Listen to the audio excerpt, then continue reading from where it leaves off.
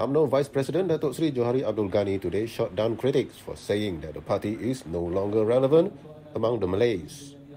Johari said there are ups and downs in politics and it is normal. He told reporters this after handing over cash aid to students of public and private higher learning institutions under the Titiwangsa constituency.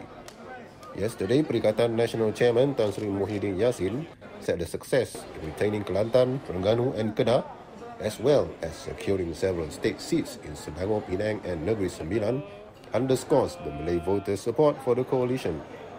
Muhyiddin, who is also Bersatu President, stated that the PN's significant success in garnering Malay voter support signifies the coalition's emergence as the political platform for the Malays, showing that UMNO is no longer relevant. Dia cakap UMNO tak relevan. Yang saya nak tanya, yang menang banyak ni PAS bukan bersatu. Ya, bersatu pun kalah 40 juga. Dia bertanding tak silap saya 79 tak silap. Dia menang 39 je. 40 dia kalah lagi.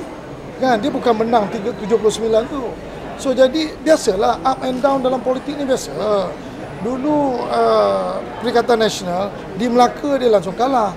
Di Johor pun dia kalah juga. Dia biasalah politik kan? Janganlah nak tekan-tekan orang bila dah kalah ni. Menang pun belum tentu belum belum tubuh kerajaan lagi sabar. Baru tiga-tiga